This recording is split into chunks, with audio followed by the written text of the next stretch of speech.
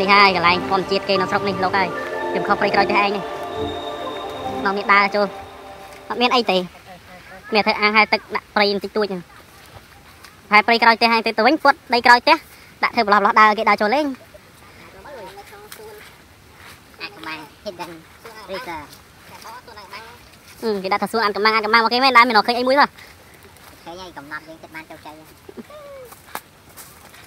អូបើជើងពាក់ដើរទៅវិញកង់ឡាននេះឲ្យឡើងឡាន